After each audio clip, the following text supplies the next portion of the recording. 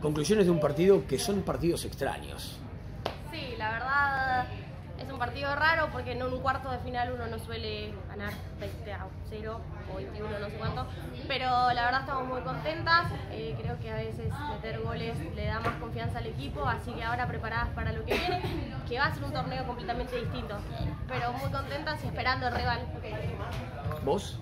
No, eh, Aparte hiciste goles. dos. Dos. Dos. Vamos. ¿El clima se asegura que mantiene así? No, no, no, cambia, cambia.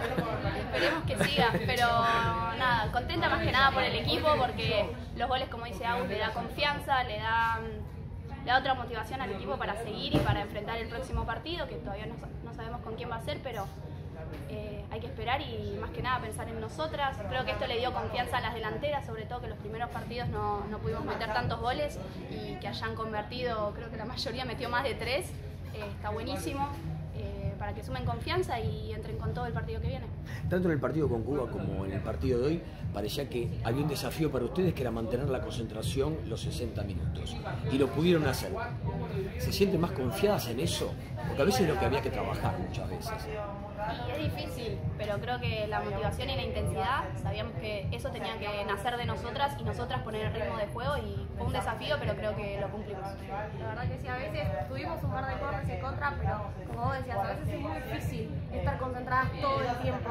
Obviamente tenemos que aprender, así que cosas no nos pueden pasar y nada, seguir, seguir enfocadas a full en lo que viene. Y lo último, y le saco de la parte deportiva para preguntarle acerca de la villa. ¿Cómo están viendo la villa? ¿Cómo ven la gente? ¿Cómo ven el lugar? No me digan del clima porque ya lo vemos todos y no nos gusta, pero no importa. Esta le da la palabra a mi compañera porque yo, te aviso, soy media de las que se quedan en el cuarto. No conozco la sala de juegos, imagínate. Solo fui a grabar un videito a mostrar. ¿Del ping-pong? ¿No fuiste a no, nada, ping-pong? yo solo te cuento que conozco el gimnasio, el gimnasio mi copa y ¿La la, pile?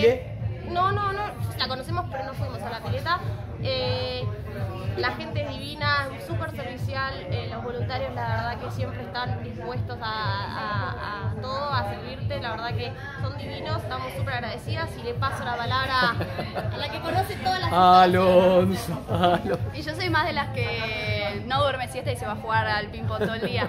Pero sí, la villa está increíble. eh, las instalaciones están buenísimas, la zona de juego es muy divertida, hay de todo, ping-pong, pool, eh, play, jugamos un jueguito de bailar, eh, nos hicimos amigas de todas las delegaciones, de todos los países, de todos los deportes, así que conociendo gente nueva. eh, O sea, me está diciendo quedar como la ortiva, la que...